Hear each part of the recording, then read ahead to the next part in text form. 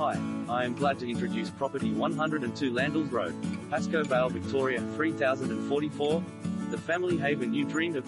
Superbly renovated and extended, this four-bedroom, two-bathroom home has become a stunning family base in the coveted Strathmore College zone. Ready to offer relaxation and perfect for those who love to entertain, it presents a generous open living, dining and kitchen leading through glass bifolds to an entertainer's deck with retractable awning. 900mm cooking appliances, including a dual fan forced electric oven and induction cooktop, meet with a dishwasher, soft close deep drawers and stone countertops in a kitchen set to delight any cooks in the family.